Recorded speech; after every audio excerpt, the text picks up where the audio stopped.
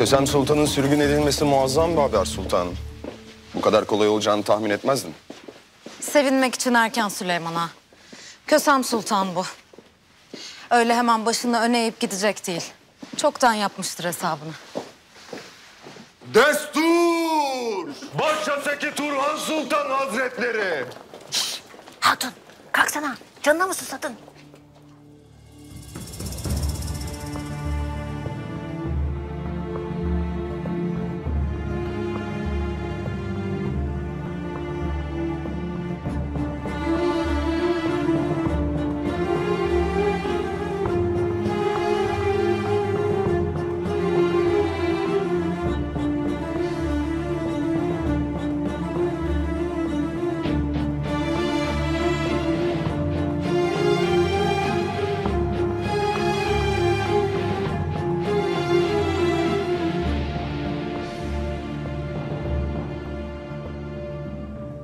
Hatun, sen ne yapıyorsun?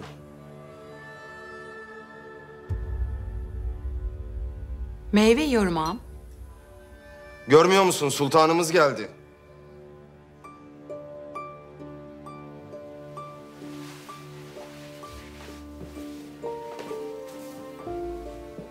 Pek tatlı, pek hoş. Siz de almaz mıydınız?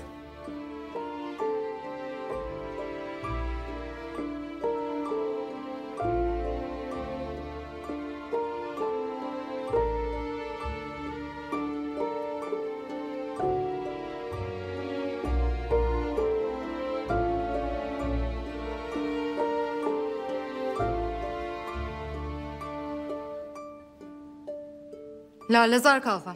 Sultanım. Haremde Valide Kösem Sultanımızdan sonra kimin hükmü geçer? Sizin sultanım. Sebep? Baş haseki sultan sizsiniz zira. Peki cariyelerden biri bana hakaret ederse ne olur? Cezası nedir? Şayet valide sultanımız da tasdik ederse cezası kat'i suretle idamdır. İdam mı? Ne idamı? Ben bir şey yapmadım ki. Size hakaret ettim mi? Etmedim. Az evvel yaptın neydi hatun? Sen kimsin de ben geldiğimde ayağa kalkmazsın? Kimin haddine? Alenen hakarettir bu. Üstelik herkes şahit. Ya derhal af dilersin ya da ağlar gereğini yapar. Karar senin. Hünkârımız izin vermez. Hiçbir şey yapamazsınız. Ağlar.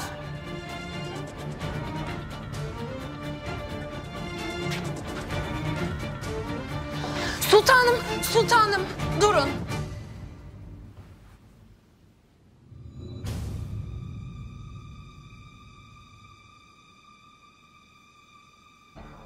Affedin beni.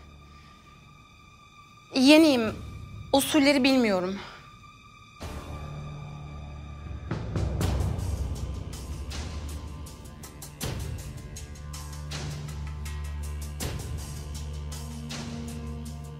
Cehaletin aşikar. Bu defaya mahsus canını bağışlıyorum. Ama yaptığı cezasız kalmaz. Falakaya yatırın. 25 değnek vurun ki aklı başına gelsin. İyice terbiye edin şu edepsizi. Emredersiniz sultanım. Bırakın ne yapıyorsunuz? Bırakın. Ben Sultan İbrahim'in gözdesiyim. Sivekar Hatun yardım edin bana. Bırakın.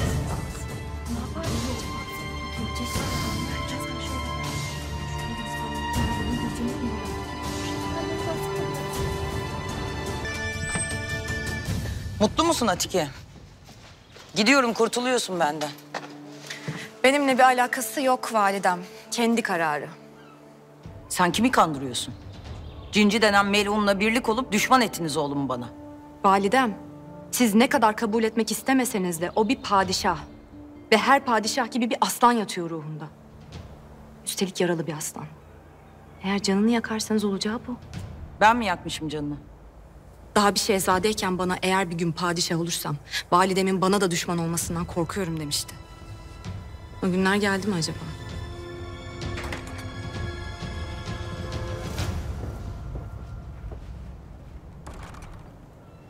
Validem, sultanım.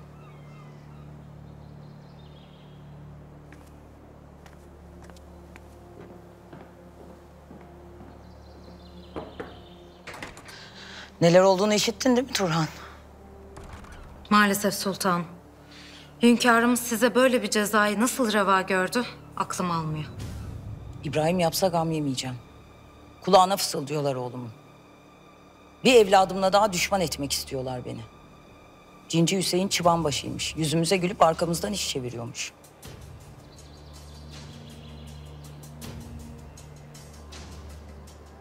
Allah biliyor ya, hiç kanım ısınmamıştı ona. Şimdi ne olacak sultanım? Yani gidecek misiniz? Gitmeyeceğim. Gitmeyeceğim de meşveret meclisini toplayalım. Sen de benimle gel. Beraber düşünüp karar veririz. Siz nasıl arzu ederseniz sultan.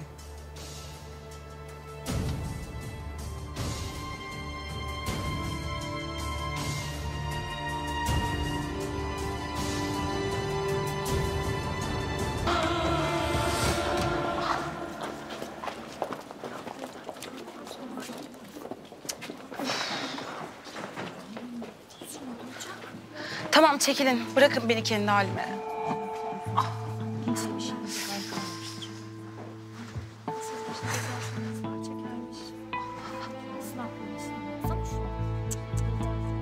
Sana demiştim Hümaşa. Ayağını denk alacaktın. Beni dua et canını kurtardın. O Çiroz Turhan Sultan'la uğraşmaya gelmez. Daha bitmedi. Esas o benimle uğraştığı için pişman olacak.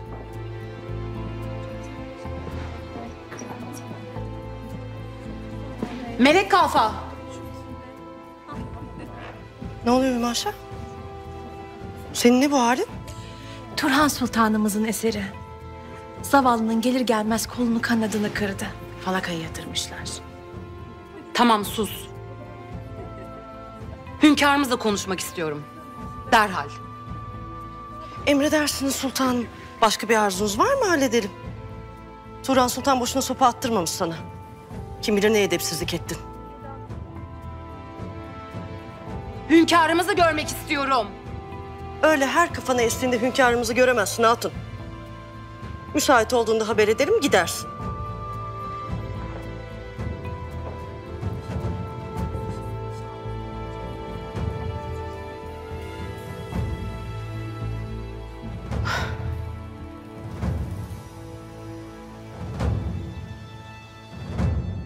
Sultanım.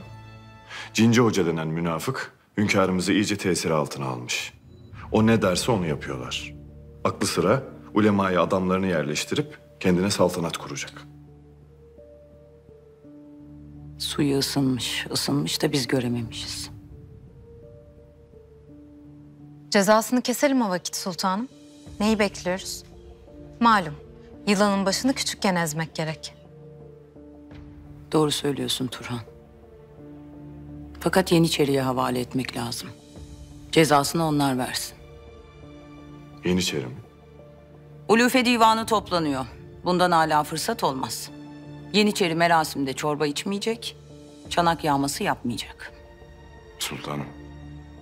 Bu isyan manasına gelir. Ta ki hünkârımız Cinci Hoca'nın kellesini askere teslim edene kadar. Sultanım bağışlayın lakin bu cinci hoca zavallı meczupun biri. Basarız konağına, alırız canını olur biter. Bu kadar hengameye lüzum var mı? Mesele cinci değil Hüseyin Paşa. O bir kukla. Ve ipleri kimin elinde belli değil. Onu öne sürüyorlar. Düşmanlar geride duruyor. Misliyle karşılık vermemiz lazım ki cesaret bulmasınlar. Ortada bir ihanet olduğu aşikar. Sultanım siz merak buyurmayın. Biz ocak ihtiyarlarıyla konuşup gereğini yaparız. Ben yine de ihtiyatlı olmakta fayda görüyorum. Hünkârımızın sağı solu belli olmaz. Ya işler çığırından çıkarsa? Ne yapayım Turhan Mısır'a mı gideyim? Ya düşmanlarınızın istediği buysa? Ya sizi telaşa düşürüp hata yapmanızı istiyorlarsa? Hata yaptığımı mı düşünüyorsun? Haşa. Siz en doğrusunu bilirsiniz sultanım. Ben sadece her ihtimali düşünüyorum. Bilhassa en kötüsünü düşünmeyi sizden öğrendim. Merak etme ben her ihtimali düşündüm. Hesabımı doğru yaptım.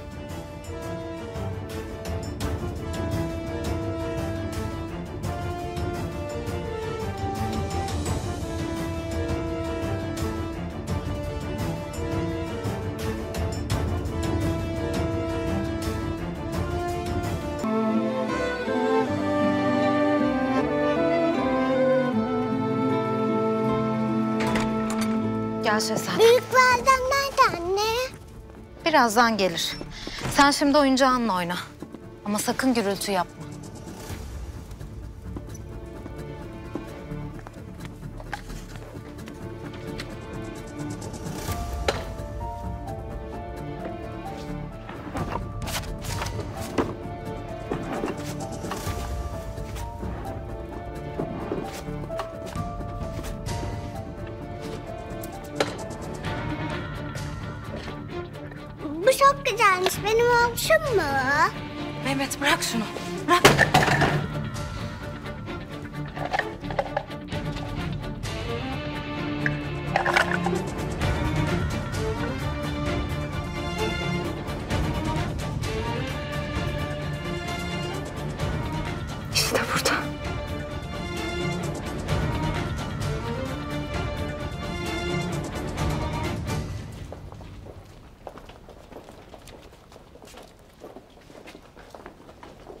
Validem.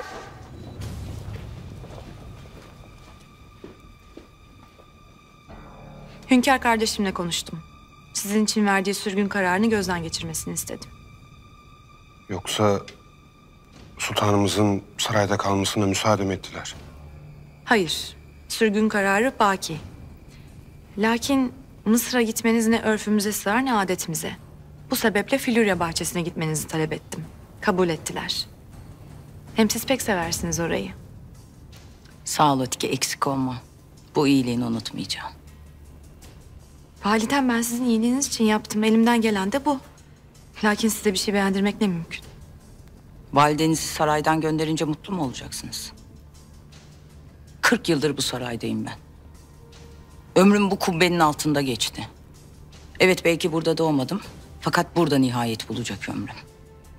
Kendi yuvamda, kendi evimde. Ve buna kimse mani olamaz anladın mı? Hiç kimse.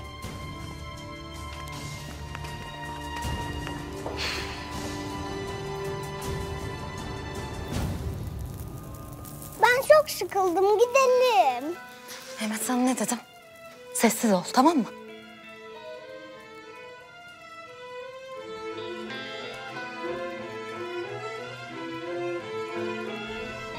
Atike sultanımız belli ki pişman oldu sultanım.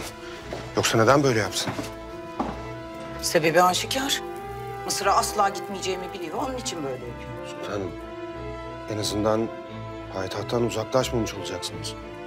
Asiye değil. Hayır hacı. Florya'ya da gitmeyeceğim. İbrahim fikrini değiştirecek.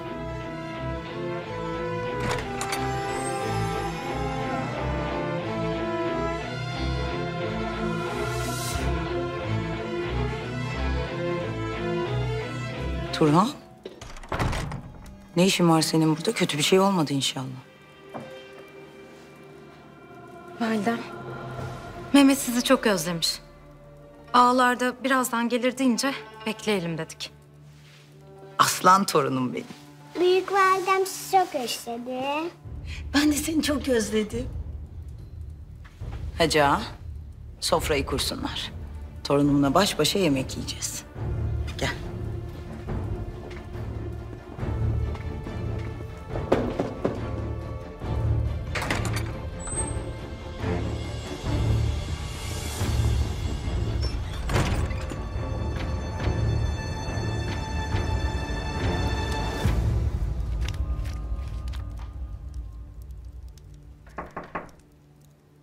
Gel.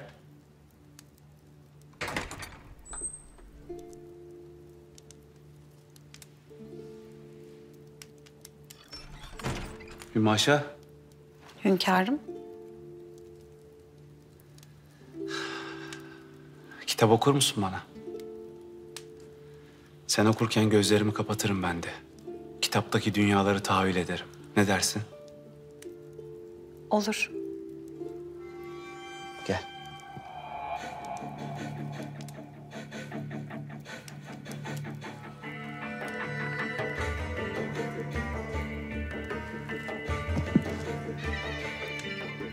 Oldu sana?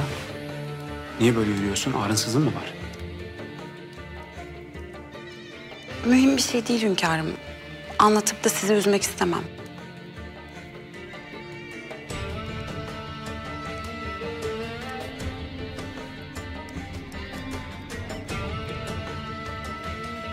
Kim yaptı bunu? Hangi melun? Söyle. Söyle canını alacağım oğlum. Kim?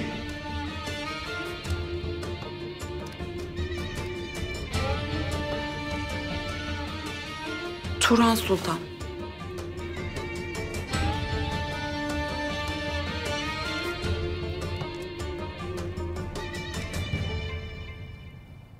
Demek Cince'nin kellesini isteyecekler. Fakat biz neden mani oluyoruz ki buna? Cinci'nin katli hepimizin işine gelir. Üstelik bu mesele anayla oğlun da arasını açar. Tam da istediğimiz gibi. Cinci Hoca bahane köprülü. Hünkârımıza bir ders vermek istiyorlar. Onu korkutup sindirmek niyetindeler. Eğer Kösem Sultan Cinci Hoca'nın kellesini alırsa...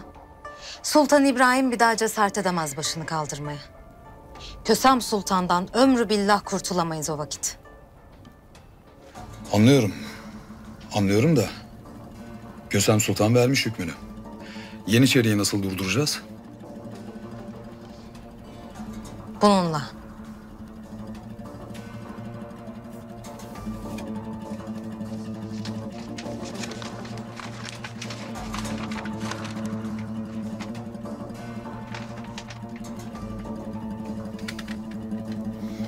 Bilmesem Kösem Sultan yazmış derim. Tıpkısının aynı. Hemen ocaktaki adamımızı bul köprülü. Ona büyük iş düşecek. Burada ne yapması gerektiği en ince teferruatına kadar yazıyor. Emredersiniz sultanım.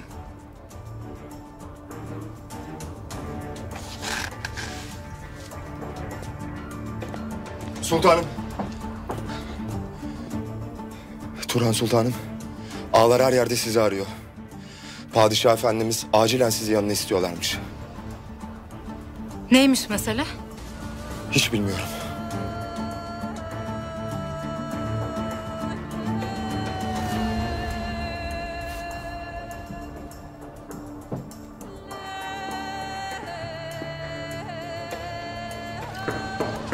Gel.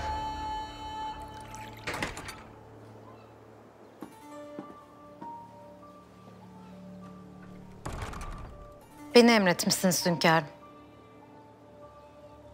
Sen ne yaptığını zannediyorsun Turhan? Benim gözlerimi falakaya yatırmak ne demek? Kimden alıyorsun bu cüreti?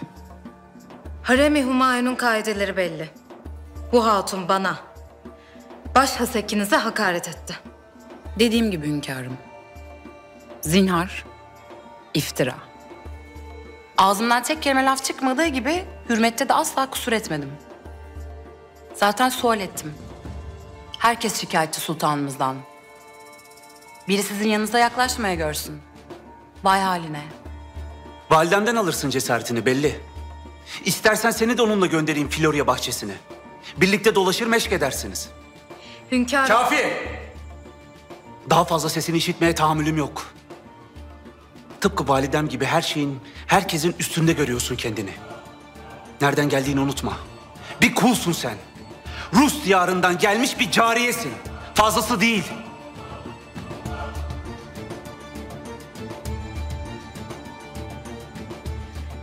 Size iki evlat vermiş hasekinize. Bu sözleri nasıl reva görürsünüz? Üstelik bir aşıftenin yanında.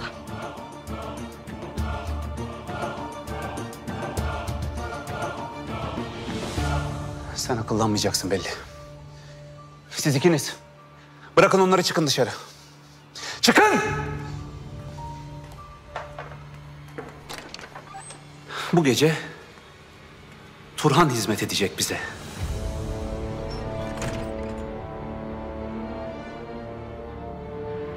İbrahim, Hadi.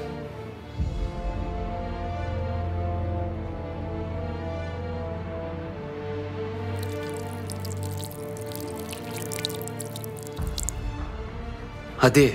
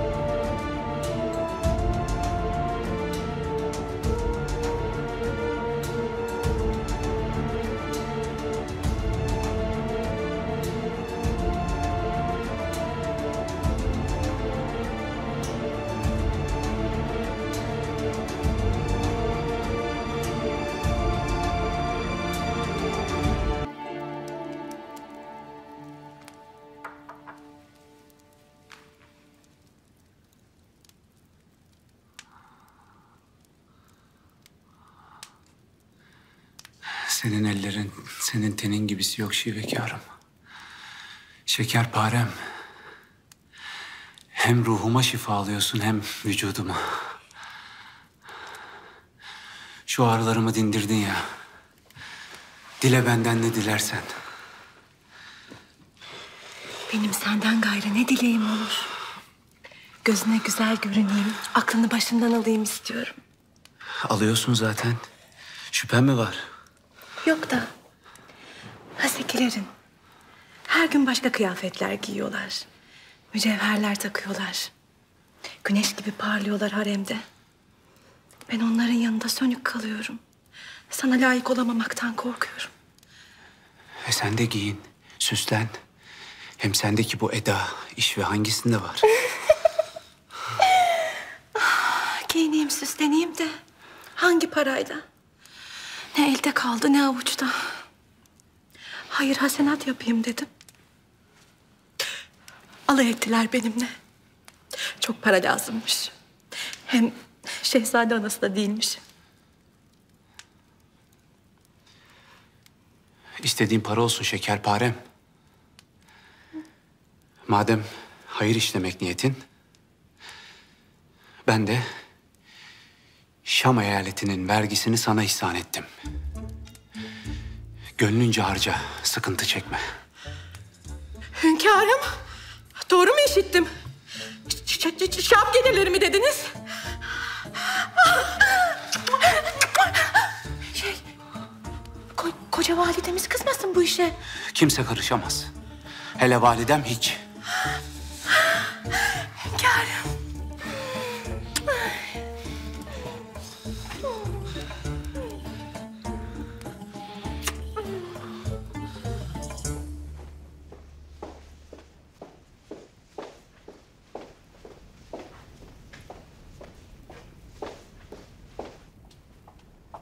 Hünkârımıza geldiğimi haber verin. Haremiyle birlikteler sultanım.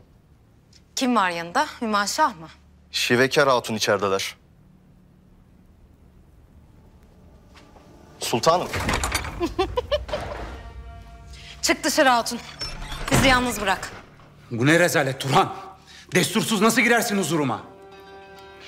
Konuşmamız icap eden bir mevzu var. Hayli mühim. Söyle. Yalnız hususi bir mesele. Anlaşılan Turhan Sultan diyeceklerini işitmemi istemiyor. Neymiş bu devlet sırrı çok merak ettim doğrusu.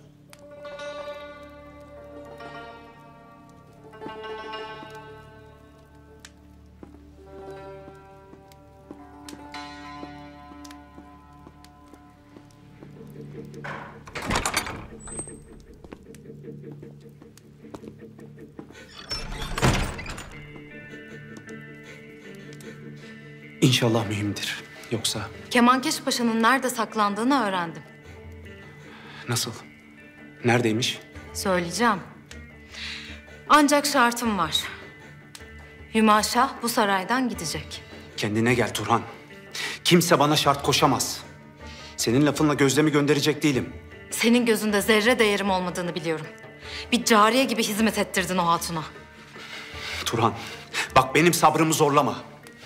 Zarife ile oğluma yaptıklarından sonra eğer hala buradaysan... ...bil ki evlatlarımın hatırınadır. Yoksa şimdiye kadar çoktan Ne yapardın? Öldürür müydün? Öldürdün zaten. Benden nefret ettiğin, beni yok saydığın her gün öldürdün beni. Daha fazla tahammülüm kalmadı artık. Kemankeş Paşa dışarıda olduğu sürece saltanatın tehlikede. Karar senin. Eğer yerini söylememi istiyorsan... ...Hüma Şah'ı bu saraydan göndereceksin.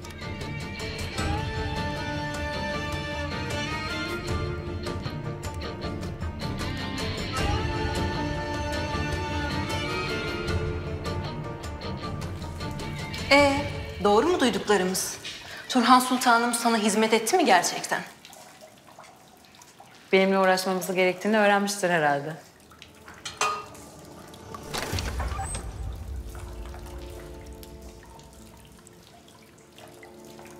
Ben Zarife Hatun'a benzemem demiştim size.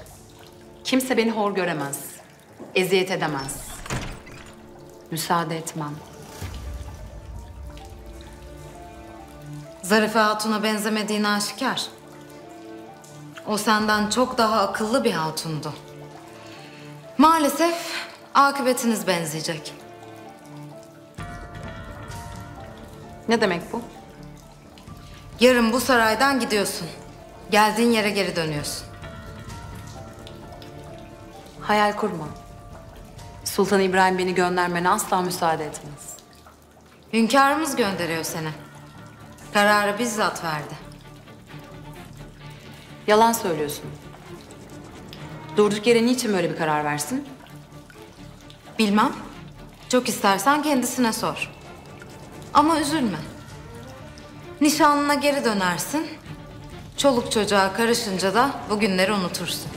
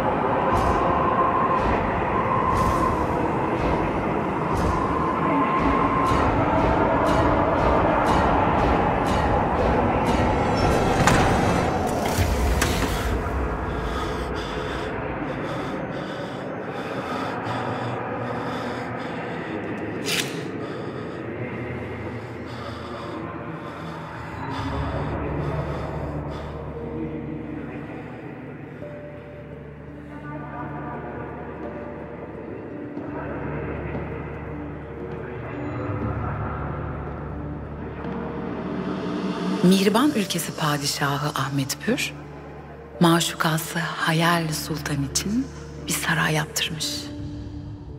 Ve o sarayın duvarlarını yerlere kadar samur kürkle kaplatmış.